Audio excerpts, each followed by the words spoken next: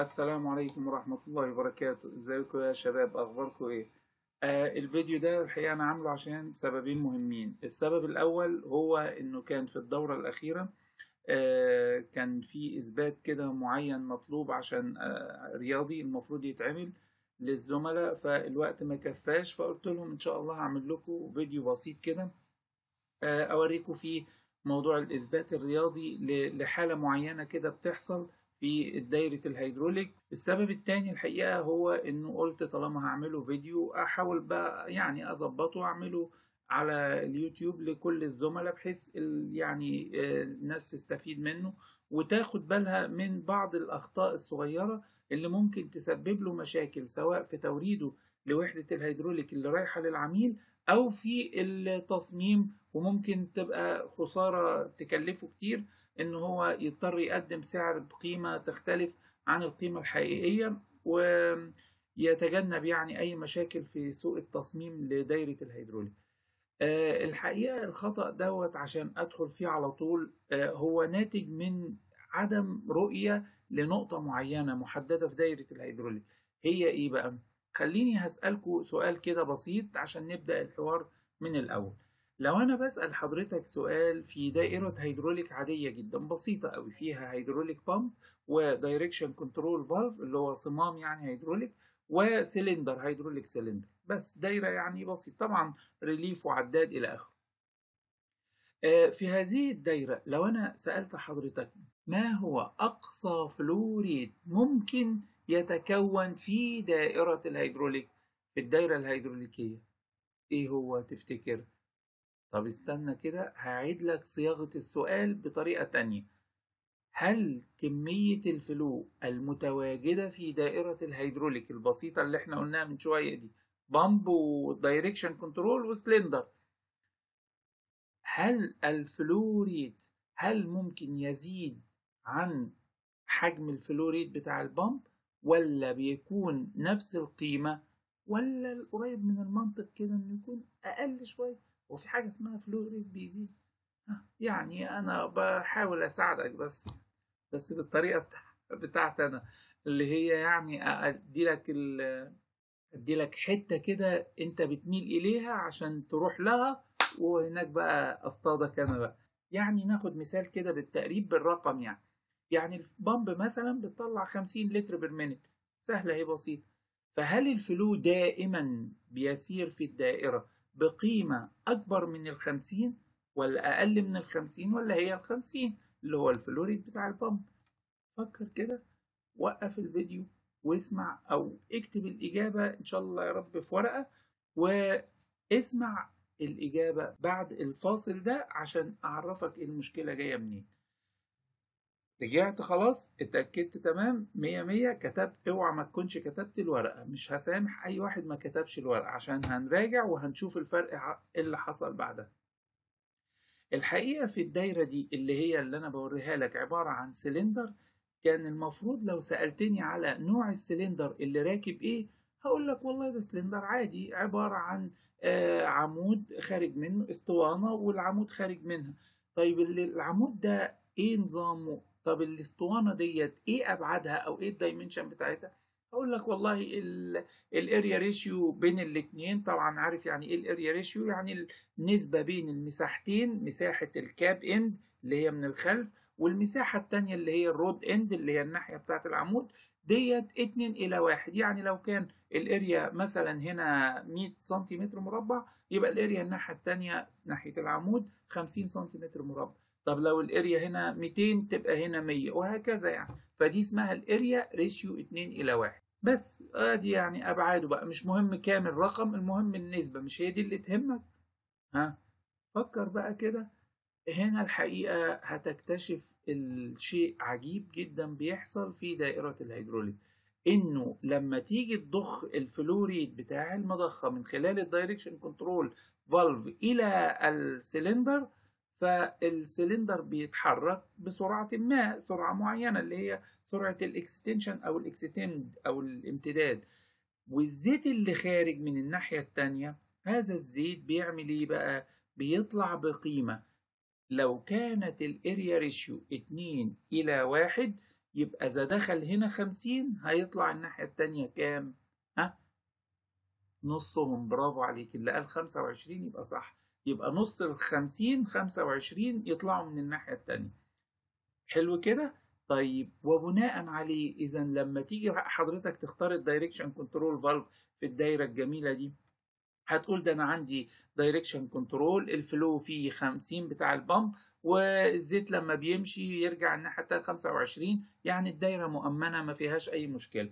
اذا المناسب لهذه الدائرة هو صمام في ال size بتاعه كام بقى؟ size 6 لأن معظم الشركات بتشتغل على هذا ال size اللي يديك ال flow rate بس استنى أنت إيه اللي خلاك تسيب المسألة وتجري وتدور على البلف؟ ما دورتش ليه بقى إنه لما الزيت يجي يدخل من الناحية التانية اللي هي ناحية ال pump لما يدخل من ناحية ال rod الزيت اللي راجع هيرجع قيمته كام؟ هي دي بقى الخطورة أو المشكلة اللي بتيجي في تصميم بعض الزملاء للدوائر.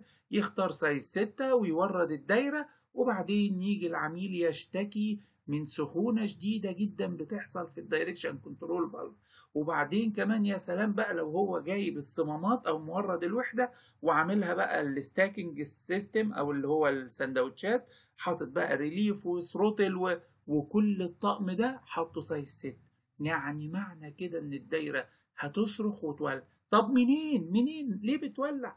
هو في flow rate جه زيادة؟ أقول لك آه. اضرب حاول بقى وصل الدايرة كده من الناحية التانية خلي ال flow اللي هو بتاع ال pump الخمسين يدخل من هنا والراجع هيجي كام؟ أو هيرجع إزاي؟ يرجع من الناحية التانية. بقيمة قد إيه بقى الراجع؟ بقيمة الضعف يعني هيبقى 100 لتر بالمينت وهو دي أو هو هي دي المشكلة الحقيقية اللي بتحصل لما الناس بتيجي تختار الدايرة أو الصمام بتاعها. طيب الكلام ده له إثبات رياضي؟ أيوه. بص يا سيدي أنا عملت لك حاجتين في هذا الفيديو. الحاجة الأولى عملتها إن عملت لك إثبات رياضي كتبته أنا يعني بعمله بإيديا بشرح كده بسيط ونستنتج معادلتين معادلة والسلندر رايح ومعادلة والسلندر راجع وشوفها بالنسبة لك هتلاقيها واضحة وتأكد هذا المعنى بنفس هذا المثال. التأكيد الثاني على الكلام ده رحت مصور لحضرتك لقطة كده من أو باستخدام برنامج الأوتوميشن ستوديو آه وده إزاي لما حطينا flow flow meter على الدخل والخارج بتاع سلندر وظبطنا السلندر على ال area ratio اللي هي تدي 2 إلى 1 في الحالة دي رحنا آه كانت القرايات هتشوفها بنفس. إذا أنا عامل لك في هذا الفيديو إثباتين لهذه الحالة. إثبات رياضي عشان تعرف إزاي تتعامل مع المسائل. الحاجة الثانية إثبات عملي باستخدام برنامج الأوتوميشن ستوديو. وأسيبكم دلوقتي مع الفيديوهات وأبقى أرجع لكم في الآخر خالص. إحنا جينا في ال mode بقى اللي هنعمل فيه الإثبات النظري للمعادلة أو الحسبة اللي إحنا قلنا عليها. دلوقتي هنبدأ باختصار على طول نرسم الهيدروليك أو السلندر أهو الهيدروليك اللي عندنا بالمنظر ده كده هنا أهو. وهنفترض إن إحنا عندنا ده ال hydraulic cylinder وطبعا عارفين أو إحنا حكينا القصة إن أنا عندي مدخلين لهذا السلندر طبعا لو هو من النوع اللي هو double acting يبقى ادي مدخل ومدخل تاني اللي هو هنعتبره دلوقتي هو المخرج يعني. على أساس الزيت هيدخل من الناحية ديت ويطلع من الناحية دي في الأول مشوار اللي هو مشوار هنسميه ال extend أو ال extension اللي بيحصل للسلندر. فأنا دلوقتي مجرد ما الزيت بدأ يدخل للسلندر من هنا هيتحرك هذا السلندر بسرعة وليكن هنسميها سرعة ال Extend. طيب لو فرضنا إن ال Q هنسميها Q اللي داخلة للسلندر هنا هنسميها Q بتاعة ال pump. ولو قلنا إن ال Q اللي اللي خارجة من هنا هنسميها Q return أو اللي راجعة من هنا. مجرد تسمية يعني أي اسم أنت عايز تسميه أنت حر مفيش مشكلة. ولو فرضنا كمان افتراض تاني وهو إنه السلندر من الناحية دي له area اسمها area وليكن A C أو A وخلاص. capital يعني إيه capital هي ال area الكبيرة. والناحية التانية هي ال area الصغيرة اللي هي هنسميها اي سمول خلاص؟ طبعا ليه هنا كبيرة وليه هنا صغيرة؟ لأنه ال area الكبيرة قوي دي هي عبارة عن المسقط اللي بالمنظر ده كده. أهي كده دي كلها هي دي ال area لكن الناحية التانية هي عبارة عن نفس ال area الكبيرة بس مطروح منها الجزء بتاع العمود اللي هو الجزء ده هنا كده. فيبقى دلوقتي الصافي الفعلي هو الجزء المهشر ده اللي هو هنا. إذا دي عشان كده اعتبرناها الأريا الكبيرة ودي اعتبرناها الأريا الصغيرة. طيب لو فرضنا إن الأريا ريشيو الأريا ريشيو يعني النسبة بين المساحتين المساحة الكبيرة هنعتبرها اتنين إلى الصغيرة هنعتبرها واحد. يعني إيه اتنين لواحد مش اتنين سنتي؟ لا يعني معناها لو قسمت ال A capital أهي كده على الاي سمول كده يبقى الناتج يطلع 2 إلى 1 اللي هو نص. إزاي؟ لو قلت ال area الكبيرة مثلا 100 سنتيمتر مربع. 100 سنتيمتر مربع عفوا. آه ماشي خلاص. امسحها خالص. أهي يا عم 2 سنتيمتر مربع. وهنا 50 سنتيمتر مربع. أهي هي كمان.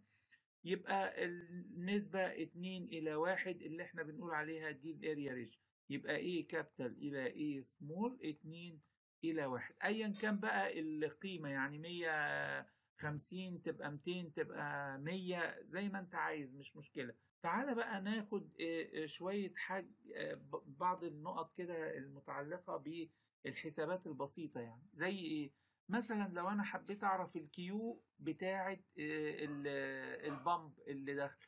ال Q إحنا عندنا عارفين معادلتها بتساوي أدي ال Q بتاعة ال pump اللي داخل. هتزق السلندر هتحركه بسرعة وهذه السرعة هي اللي قلنا عليها V بتاعة ال extension مضروبة في ال area capital اللي هي الكبيرة دي. لو أنا عايز أعرف ال Q اللي هي خارجة من هنا ديت يبقى هقول إن نفس هي متأثرة بنفس السرعة لأن السرعة واحدة في السلندر سواء بحسب من الزيت اللي داخل اللي داخل أو من الزيت اللي خارج من هنا مش هتفرق كتير. إذا خلينا نقول إنه ال Q هي كمان ال Q اللي خارجة اللي هي نعملها بقى نشطب على دي نعمل Q R تساوي برضو نفس الكلام ال V extend برضو هي هي مضروبة في ال area ال small هي الصغيرة. طيب إذا أنا ملاحظ حاجة كده إن عندي ال V اللي هي السرعة والسرعة ثابتة الاتنين واحد يبقى كأني أقدر أقول كده إن ال V extend إن السرعة بتاعة الاتنين ال V extend الأولى بتساوي إيه؟ اللي أنا بشاور عليه أنا عمال بشاور بإيديا فاكركم أنتوا شايفين فالأولى بتساوي ال VA بتساوي بتساوي ال Q أهي Q pump على ال area بتاعتها اللي هي دي مش كده؟ على ال area الكبير تساوي نفس الكلام. ال Q اللي هي برضو تاني بعمل ال Q small ادي Q اللي هي بتاعت ال retract على ال area small اللي هي دي. يبقى اصبح دلوقتي ال V هي الثابت وال Q اي ال Q pump هنا على ال area الكبيرة بتساوي ال Q retract على ال area الصغيرة. يبقى من الحتة الصغيرة دي قوي أهي أهي كده المعادلة البسيطة دي. أقدر أقول بقى حاجة جميلة جدا. إيه هي؟ تعال ناخد بقى بأرقام عشان نبدأ نعرف الفرق بينهم أو نعرف إيه القيم اللي ممكن تقابلنا. لو أنا جيت قلت لك إن ال Q pump اللي هي دي اللي هي في حالة الدخول دلوقتي بتاعة المضخة هي عبارة عن 50 لتر في الدقيقة أو لتر per minute. يبقى ال ال دي أول جزئية هي معلومة عندي. طيب ال Q اللي خارجة كام؟ معرفهاش بس ممكن أعرفها بالقانون. أدي Q ال retract اللي راجعة بتساوي. هتساوي ال Q pump أهي زي ما هي يعني أنا قلت ال Q pump زي ما هي وهودي ال A الناحية دي هنا. تبقى كأن ال Q pump مضروبة في ال A على ال A capital تعالى كده نقول بقى بالأرقام. يبقى خمسين أهي. في واحد على اتنين. إيه ده؟ يعني خمسين في نص أو خمسين على اتنين يعني كأن الناتج يطلع خمسة وعشرين لتر per minute طيب تعالى بقى إيه رأيك في الكمية دي؟ معقولة حلوة قوي ده بسيطة جدا وما زادتش وما ما عملتش مشكلة في اللي إحنا قلناه قبل كده. ما هو اللي دخل خمسين وهي دي أقصى flow لل pump تمام؟ اللي خرج خرج كام؟ 25 إذا الحمد لله ما فيش أي مشكلة وال directional control اللي أنا مختاره هيكون تمام ومتوائم مع هذا ال flow. وهنا تأتي النقطة بقى اللي جاية وهي لو أنا بقى دخلت العكس بقى. يعني إيه العكس؟ يعني جيت رحت داخل من هنا كده بال Q بتاعة ال pump كلها وال Q اللي هتبقى خارجة في الحالة التانية. أنا ممكن أعمل حركة ظريفة ممكن أغير لكم لون ال pen. طيب دي الحالة الأولى. الحالة التانية نفس الكلام. هعيده اهو كده على طول على نفس السلندر. هستخدمه هنا كده وأطلع بيه. وبعدين هقول بقى المرة دي ال flow اللي جاي من الناحية دي وهيدخل. طب ال flow اللي جاي من الناحية دي ده كام؟ ده ال Q بتاعة ال pump اللي هي خمسين. وال flow اللي خارج من الناحية التانية ده اللي أنا مش عارفه. آه ده اللي أنا مش عارفه. يبقى ده اللي أنا عايز أعرف يبقى قد إيه. إحنا كنا قلنا من شوية إن كان عندنا ال Q أهي كانت ال Q pump على ال area الكبيرة بتساوي ال Q اللي جاية من الناحية السمول اللي هي Q return على ال area الصغيرة. طب ما نفس الكلام ما هو السلندر ده المرة دي راجع لورا راجع كده. يبقى ال V هنا هتبقى ال V بتاعته بتاعة ال retract رجوع السلندر. يبقى كأن ال Q أبدأ تاني ال Q اللي داخلة من هنا أهي ال Q هتبقى هنا بقى بتاعة ال pump بس في حالة العودة يعني. هتساوي ال V السرعة في حالة ال retract الرجوع مش extend بقى زي اللي فات. بس مضروبة المرة دي في ال area الصغيرة اللي هي دي. الاي سمول أهي. طيب ال Q بقى اللي خارجة كام؟ ال Q اللي خارجة زيها برضه. أهي Q اللي هي ال ال return بقى بس capital اهي المرة دي كتبتها Q capital return دي بتساوي إيه بقى؟ هتساوي ال V بتاعة ال return مضروبة في ال area الكبيرة بتاعتها اللي هي الناحية دي يبقى هي هنا كده مضروبة في ال area الكبيرة. طيب يبقى برضو هطلع من ده بإيه؟ إن ال V retract هي نفس ال V retract يتفضل عندي أن ال Q pump أهي. ال Q pump آه على ال area الصغيرة أو ال small area تساوي ال Q retract Q retract على ال Q على ال area الكبيرة. طيب من هنا أطلع بإيه؟ بالحسبة البسيطة برضو آخد دي كده أخليها أو ابروزها وأقول هي دي المعادلة التانية أو يعني هي استنتاج من الأولى يعني. دي المعادلة رقم اتنين رقم اتنين. طيب رقم اتنين دي بقى عبارة عن إيه؟ عبارة عن حاجة بسيطة جدا إن أنا دلوقتي بقول لك ال Q pump اللي هي اللي داخلة من هنا دي اللي جاية من ال pump ال Q دي. يبقى دي اللي هي 50 حاضر أحطها هنا 50 أهي. بتساوي على كام؟ ال area الصغيرة واحد. بتساوي ال area اللي أنا مش ال Q اللي أنا اللي أنا عايز أعرفها اللي هي الراجع اللي هي بتاعة النقطة ديت على ال area الكبيرة اللي هي اتنين في الحالة دي. بص بقى هنا النقطة دي إذا Q retract بتساوي إيه؟ ودي دي هناك الناحية التانية كده. تروح كده. يبقى أصبح عندي ال Q retract بتساوي خمسين في اتنين في اتنين تساوي مية لتر per minute طبعا هنا أدي لتر per minute يبقى معناها إنه أنا عندي طلع في لحظة من اللحظات اللي هي لحظات رجوع السلندر قيمة تعادل ضعف الطلمبة وليست قيمة صغيرة أو قيمة بسيطة. دلوقتي بقى أسيبكم تنتقلوا إلى الإثبات العملي باستخدام برنامج ال Automation Studio 5.7 ده ال version اللي يعني كان حديث دلوقتي وصلوا إلى version 6 و2 في ال educational version بتاع ال Automation Studio. مع الجزء الثاني من الإثبات اللي إحنا اتفقنا عليه اللي هو هوريكم بقى إزاي على برنامج ال Automation Studio إزاي فعلا القيم دي بتتحقق فعليا. لو أنا دخلت على البرنامج على طول كده وهبدأ أجيب المكونات الأساسية زي مثلا آدي مضخة وبعدين هنختار hydraulic tank وبعدين نختار مثلا يعني مش هيهمنا دلوقتي relief بس ماشي خلينا نحط relief ونختار برضو عداد مش مشكلة بس ماشي عشان نخلي شكل الدايرة يعني محترم شوية. وبعدين ندخل على آه صمام وليكن مثلا أربعة على اتنين نحطه هنا كده. وبعدين نحط معاه cylinder cylinder cylinder تحت. أهو.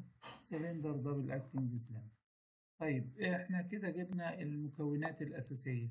ممكن هنا طبعا أعمل zoom أكبر الشاشة كلها بحيث أبقى شايف المكونات. آه أنا عايز أعمل ده السلندر هخليه هنا كده وأخلي ال direction تحت شوية عشان هقول لكم ليه بقى هنزله كده. وادي ال pump هنا تنزل تحت شوية أهي هي وال tank وأنزل بالعداد وال relief أهو. انزل بيهم تحت شوية. هنا. آه وانزل أساوي ده كده مع ده ويبقى هنا أمد دول على خط واحد. يبقى ده واصل بالعداد ومن العداد وصل للخزان. واطلع من هنا بقى من ال pump على أول نقطة في ال direction وآخد ده آه copy أهو وبعدين ألزقه هنا كده. اطلع بيه يبقى خلاص حطيت الناحية بتاعت ال direction control valve هنا. أجي بقى أوصل السلندر. أنا طبعا عايز أوصل السلندر هوصله كده ولما هرجع كده أهو أوصله بالطريقة دي. آه ولو حبيت أشغل السلندر أو الدايرة هشغلها بالشكل اللي أنتوا شايفينه. ممكن أصغرها سنة شوية اهي كده. وبعدين أعمل run هنا أهو. يبقى أول ما اعمل run هتبدأ الدايرة تبان ويبين لي قيمة ال relief اللي أقدر أظبطه من هنا. هو مثلا مظبوط على 80 فاداني القراية 80 القراية ديت قراية العداد اللي هنا. فأنا لو خليته مثلا 50 أو 45 بقت 45 آه خليته 300 فهي 300 يعني أي قراية مش قضية. خلي أي رقم مثلا أي حاجة. 20 طبعا 20 ده قيمة قليلة بس عشان أصلا السلندر معليهوش أي أحمال. طب لو حبيت أحرك السلندر أو أحرك ال direction عشان يحرك السلندر يبقى لازم أضغط هنا. آه عفوا عفوا. أيوه أهو. آه راح السلندر شلت إيدي السوستة أثرت عليه. ده باختصار كده دايرة بسيطة نوضح بس عليها الفكرة. طب أنا كنت عايز إيه أصلا بقى؟ كنت عايز أعرف هل لما يكون ال cylinder double وال area ratio بتاعته ال double يبقى في الحالة دي هل فعلا ال flow اللي هيخرج ويعدي فيه ال direction control هيكون ضعف ال flow؟ ده اللي هنعرفه دلوقتي بإيه بقى؟ لازم يبقى معانا أدوات. أدوات القياس هنا هيبقى هي عبارة عن حاجة اسمها flow meter flow meter يعني مقياس لكمية ال flow. وتاني أول حاجة طب خلينا نجيبه. نجيبه من هيدروليك هنا أهو. وبعدين ندخل على measuring instrument وحدات القياس ونبدأ نقيس. أهو هنا هنا هنا. أهو flow meter أهو. طبعا أنا محتاج flow meter فين؟ محتاج flow meter في الناحيتين عشان أنا عايز أقيس هنا وهنا. فأنا ممكن أعمل كده وأخلي القراية دي هنا كده بتاعته وأجيب واحد تاني أهو أو إن أنا أخده هو نفسه copy paste أهو هنا وآخد برضو القراية بس أخليها الناحية التانية هنا. تمام كده؟ طيب أختار السلندر ده عشان يبقى المشوار باين شوية معايا. بختاره الموديل اللي يكون ال body length بتاعه كبير شوية في الرسم يعني. أختاره سبعة أكبر حاجة. مجرد أهو بس طول. خلاص؟ دي أول حاجة. الحاجة التانية في ال technical data أنا لازم أفتكر أخلي بالي. ال diameter هنا مية من مية ملي مية ملي متر ال piston diameter شايفينها؟ أهي. طيب بالتالي ال rod diameter كام؟ خمسين ملي متر إذا هذا الفرق اللي هو 100 في ال piston cap اللي هو ال D أهي هنا. مع ال rod 50 ده عشان عملناه ليه؟ عشان يحقق ال area ratio اللي هي اوعى تقول 2 على واحد أو 2 إلى واحد أو واحد إلى 2 اللي هي ال area ratio 2 لواحد النص اوعى وحذاري حيث أن ال area ratio عشان تبقى 2 إلى واحد لابد وأن يكون. إذا كان ال piston diameter 100 ملي يبقى لازم يكون البس ال rod نفسه يكون حوالي 70 ملي أهي يبقى كده 70 ملي وهنا لو لاحظت مجرد ما غيرت ده ل 70 لاحظ إن ال area هنا كام؟ 78 بص بقى النتيجة بقت إيه؟ ال area من ناحية ال piston side اللي هي دي. ال area بتكلم على ال area كام؟ حوالي 78 ونص. يعني قول حوالي يا سيدي 79 يعني تقريبا 80 صح؟ 80 يبقى الناحية بتاعت العمود القطر ال area بتاعتها كام؟ عملت حوالي 40 وكسر بسيط. 40 سنتيمتر مربع. إذا هذه هي النسبة بين الأقطار لما نتكلم على ال diameter إلى ال diameter يبقى سبعة من عشرة. أو هذه هي أرقام أو قيم الأقطار لما تكون عايز توصل لقيمة ال area ratio 2 إلى 1 بعمل هنا apply وبأكد المعلومة. خلاص تمام. تعالى بقى نقرأ السلندر هيمشي إزاي والسرعات آه نسينا حاجة مهمة. اوعى تنساها حضرتك وهي ال pump هنا هتتظبط على كام؟ مش أنا لازم أعرف ال flow هنا هيبقى ضعف هنا. هو أصلا كان كام؟ ال flow بتاع ال pump. يبقى لازم تبقى صاحي معايا كده عشان نبقى عارفين بنتكلم في إيه. نيجي بقى ال pump هنا RPM تبقى 1200 لا يا سيدي خليها 1500 RPM اللي إحنا متعودين عليها ده ال standard عشان ده النظام الأمريكي. لكن وال pump كحجم CC الحجم الهندسي بتاعها يبقى 100 CC 100 CC بال rev يعني CC بال revolution. هنا ال pump بتشتغل بسرعة 1500 RPM يبقى في الحالة دي هتديني 150 لتر per minute وهو ده ال flow اللي خارج من هذه الطرمبة. بس عايزني يا سيدي أأكد لك المعلومة نيجي عند هنا. عايز نظهر نظهر بعض ال data يبقى نرجع تاني نجيب displayed information وأقول له مثلا اظهر لي خلاص اللي هي ال flow rate أهو علم عليه صح كده فيبان إن هو هيظهر. يبقى على الأقل عرفت إن ال pump هتديني كام لتر بال minute يعني نيجي جنبها كده نشوف. أهو أظهر لي إنها بتطلع 150 لتر بال minute تعالى بقى كده قبل ما نشتغل ونعرف اللي إحنا هنقوله مظبوط ولا لأ. لما يجي ال flow هو دلوقتي هيمشي من هنا خلاص وده السلندر وصل لآخر المشوار يبقى مفيش زيت هيمشي في اللحظة دي. إمتى يمشي بقى؟ لما أبدأ ألقط ال direction control ويبدأ يجي الوضع ده فزيت الطرمبه يبدأ يمشي من خلال ال flow meter ده إلى أن يصل إلى السلندر. هنا في الحالة دي بقى الزيت اللي هيبقى ماشي هنا كام؟ هو ده اللي هيبقى 150 لتر بال minute طب اللي هيبقى خارج الناحية التانية طبقا لل area ratio 2 لواحد زي ما اتفقنا بقى مع بعض هيبقى كام؟ نص القيمة. يبقى المفترض في أول خطوة عشان نأكد إن إحنا مظبوط يطلع الناتج 75 لتر. ونشوف مع بعض. نبدأ نعمل run أهو آه كده أول مرة. آه آه مشي بسرعة بس معرفش لقطوها ولا لأ. طيب خلينا نعملها بالبطيء أهي بالبطيء قوي كمان. هو عشان هقول لكم حاجة إحنا كمان ممكن بالبطيء وممكن نصغر ال flow rate بتاع ال pump بدل ما نخليها كبيرة قوي 100 CC نخ... وطبعا عشان قطر السلندر برضه يعتبر صغير خلينا نختارها pump صغيرة يعني خليها 10 بس CC. أنا ما يهمنيش هنا آه الأرقام قد ما يهمني أعرف بقت 15 لتر بال minute يعني هتبقى السرعة بطيئة شوية وهتبقى باينة معانا ونختار كمان اللي هو ال slow motion mode أو ال simulation بالسرعة البطيئة فيبقى كده العملية يعني تبان أكتر. أهو بص بقى أنا ضغطت. هنا ال 15 لتر هم كلهم طالعين. أنا همسك بس الماوس أهو. أدي ال 15 طالعين وآدي اللي راجع. يعني تقريبا almost حوالي سبعة سبعة ونص ال flow. إذا ده نص ال flow rate اللي راجع أو نص ال flow rate اللي خارج الناحية التانية.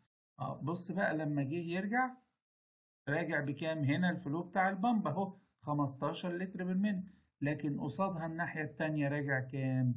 30 أو 29 ونص اللي هي حوالي ال 30 يبقى بكده وضحت لحضرتك بإثبات عملي وإثبات نظري القانون بتاع المسألة دي يمشي إزاي ويعني أتمنى تكون المنطقة دي وضحت لحضرتك كويس قوي عشان ما تغلطش في عمليات التصميم والاختيار للدوائر.